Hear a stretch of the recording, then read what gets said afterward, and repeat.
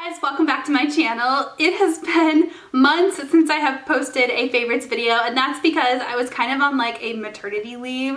If you guys are new to my channel, I just had a baby and I'm just getting back into the swing of things, filming videos. My baby is almost two months old. Oh my god, it's crazy. But yeah, this is the second time I have sat down to film videos and I haven't filmed like anything in between that. And I have been a religious favorites video poster ever since I started my channel, I have never missed a month of favorites and so I missed a few months and I was like, okay, how do I want to do this favorites video? Like, do I want to do all the stuff I loved in those couple of months, the best of the best, and what I ended up doing was just kind of going through my makeup collection, popping my head into the bathroom and thinking like, okay, what are the things that I have used the absolute most during this postpartum phase, like just what have I reached for the most, and that's what I'm going to talk about in this video. So I guess technically this is like an October favorites. It would be what, like July, August, September, October, like four months worth of favorites. Um, but we're just gonna call it my current favorites and then I'll pick up with favorites videos like next month. Okay, so because I am a brand new mom and because I have a newborn, I'm all about getting ready really fast. I don't typically have hours to get ready anymore. It's usually like five minutes, 10 minutes, if that, if I'm even putting makeup on. If I'm being truly honest with you guys, probably 80% of the days I just haven't even worn makeup just because I, I've been home with my baby or I just have no desire to put makeup on, whatever it may be. But when I do grab makeup, I kind of have some staple products that I will use. It's a concealer, a brow pencil, a highlighter, or a blush, or a combination of both just to give some like freshness back to my face. And that's pretty much it. So I have a couple of those to share with you guys. Let's talk about concealer first. First, I have the CoverGirl True Blend Undercover Concealer. I just recently used this maybe a month ago I started using it and it's really good. It's kind of like a cheaper version of the Tarte Shape Tape. It's thick, it blends really easily, it covers my dark circles and I'm telling you I have crazy dark circles right now because I'm a little sleep deprived. I got a newborn downstairs. Um, so this is really good and it comes in a ton of different colors. So there's that. And then for something a little bit more expensive, a little bit more high-end, kind of, sorta, is the Benefit Boi-ing Cakeless Concealer. Um, this does not have as many color options, but it is really good. And I found myself using this quite a bit during my like late pregnancy, early postpartum to just kind of like put slightly all over my face. Like I'll use it to cover my under eyes and then kind of like just drag it out basically on the whole face, if I'm being honest. What I like about this one is the applicator is really cool. The doe foot has like a hole in it. I don't know if you can see, but it's not a hole, it's like an indent and it collects the perfect amount of concealer to just put under your eyes without going too crazy. And I think that contributes to the whole cakeless thing. It's supposed to be like full coverage without looking cakey. And I think they do achieve that. Plus it's a really cute package. It kind of looks like a pencil. So there's that. As far as like what I set that with, so if I'm putting concealer on, I have to set it. I can't just let it go uh, because it'll crease on me. So I've been reaching for this Hourglass palette a ton. This is their new Holiday Ghost palette. I love these palettes. I've talked about them I've talked about this particular one in every single video I've filmed so far since I came back from my maternity leave. Uh, but I've been setting it with this yellow color in here. Nothing new. I have a full-size pan of that and I've talked to you guys about it before. But the fact that it's in this palette makes it so easy and convenient. There's a ton of really good colors in this palette, you guys. You have Dim Light, which is a perfect all-over face color. I actually have that on like the apples in my cheeks today if you're wondering kind of why my cheeks are glowy. There's a highlighter in this palette that I have like up here. There's a bronzer and then there's two blushes. I think that these palettes are amazing. I have the two from last year. I plan on buying like all of them if I can. The only thing is they do repeat colors quite frequently, so look at the ones you have to make sure you're not repeating colors. But this is just, it's nice to have a nice, easy, all-in-one face palette. I can set my eyes really quick. I can kind of dig into dim infuse or dim, dim light yeah, dim light and just kind of like put a little something on my face to give me a little bit of a glow, bring my skin back to life a little bit, pop into the highlighter, a little bit of highlight, blush, you know, just, just do something really quick without like having to fuss and spend a ton of time. When I do want to spend time to do blush, I have a lot of blush. I don't know why. I guess blush just gives you that motherly glow and just, I don't know, something about blush. Um, they also released a blush quad that has four blushes in it. The only repeat color is Nude Brilliant Nude, which I didn't have yet, so that's good. And then these are three new colors. These are so nice because they have that ambient powder like woven within them so they give you just a little bit of a glow.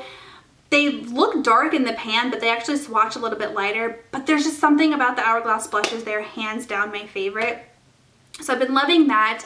I also picked up this Natasha Denona blush uh, duo a little while ago. It has like a peach color in it and then a pink color in it. These are really good. They're really powdery though. I just realized how powdery they are right now when I open this. Um, but they have the same formulation as the Natasha Denona eyeshadow, so they're really creamy. And these are a little bit expensive, but I think you get a lot of product for your money. And these colors, this comes in like a bunch of different colors. This one is in the color 15 Sheer Nude. No, 10 Sheer Nude.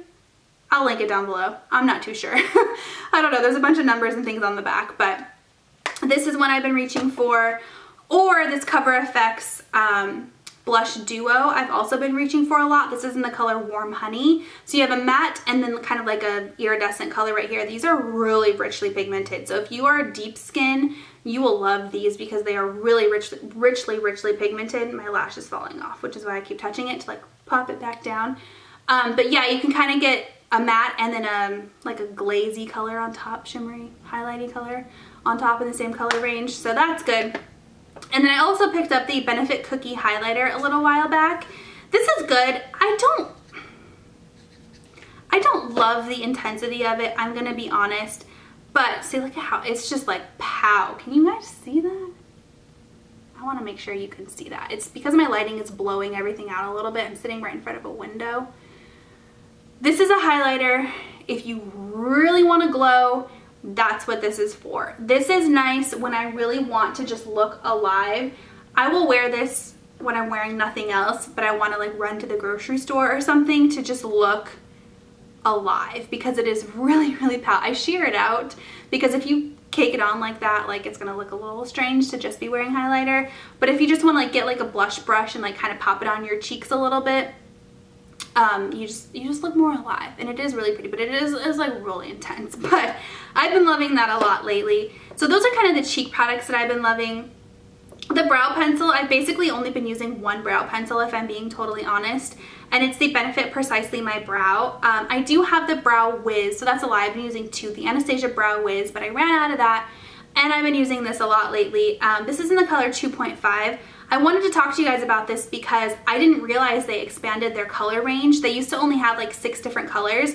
Then they added the 0.5. I think they also have 0.25 in between some of those color ranges to add different tones. So they used to be just like strictly warm or cool tone, but now they have like the same colors but in different tones. So you can really find a match for your brows. If you tried them like a few years ago and you couldn't find a match for your brows, check it out now because they expanded the color range quite a bit. 2.5 is nice. That's what I'm wearing on my brows today because it's just a little bit more neutral. Before I was using 2, which was a little bit more on the warm side. So again, it's just your preference, whatever you like.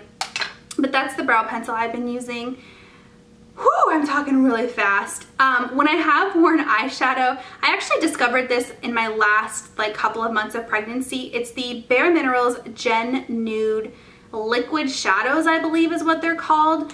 These remind me a ton of the Stila glitters, the Urban Decay liquid. Um, MAC has a variation of this. I love liquid shadows when I'm trying to get ready in a hurry and these are beautiful. Can you see that? Yes, you can. Look at how pretty that is. This one is in the color Pink Opal. I actually loved this so much that I went and bought all the colors. I'm not lying, you guys. I have all the colors. When my mom came in town, um, right before I delivered, I was like, Mom, before I have this baby, we gotta go to Ulta because I gotta buy all the colors. So I got Sunstone, Golden Topaz, there's another one in here, uh, citrine. They're like beigey. They're just so pretty because they have like a metallic opaqueness to them and they look so nice on the lids. Once they're on and they dry, they don't crease and they just, they're so effortless. You can put that on your lid and then get a eyeshadow brush and kind of buff out the edges and the little shimmer flecks in it will kind of like spread out. You can get away with wearing just this and it looks so pretty. Oh my God, it looks so pretty yeah, so if I go over it with my finger, it just buffs out ever so slightly and the color, like the glitters just, oh my God, So pretty. I love them. When I have been wearing stuff on my eyes, aside from today, um, it's been this pink opal color right here. So look at that. Look at how stinking pretty that is. Easy and effortless. That's what I like. Okay, so on my lips, I've been really loving bold colors. I think it's because even if I'm wearing nothing on my face, a bold lip makes it look like you put a lot of effort into your makeup look. You know what I mean? Like, oh wow, she's wearing makeup because she's wearing a bold lip. So there's two that I want to talk to you guys about. Right now I'm wearing Too Faced Gingerbread Man, which I love also, but I wore it for the first time this season today, so I can't like call it a favorite yet, but like I'm loving it. Um, Lancome has these balm lipsticks. I love balm lipsticks because they're nice and hydrating and they're just easy. But these are really pigmented. Look at that. This one is in the color 398 and I just love it. It has like a purple berryness to it. They're nice and easy and effortless. Perfect for the mom on the go, the girl on the go. Put it on your car while you're driving. There's that. Um, another product from Lancome. These are their lip glosses, but their lip glosses are so nice. They're nice and opaque and not sticky. Look at that. Ooh wait, do you see that? That was a horrible swatch. Let me do that again. there you go. I love this one. This was in this one is in the color 317. I think it's called Rise and Shine. Um, but it's just a bold kind of pop of color. This one's like a bright, kind of like gingerbread man, but a little bit more on the pink side nice and glossy. Glosses are nice too because they're quick and easy. Um, Lancome actually sent this one to me to test out. I've talked to you guys about these before though. In fact, I have had this color before. Um, I just love their lip glosses a ton. So that's pretty much all I've been wearing on my lips is a lip gloss, a lip balm with a lot of color in it. And yeah, so that's pretty much it for makeup. The last thing I wanted to talk to you guys about was a hair care product that I kind of rediscovered my love for. It's the Bumble and Bumble Invisible Oil Primer Spray. I am a big fan of an all-in-one. Can you even see that? Woo, the lighting is blowing it out really bad. Mm.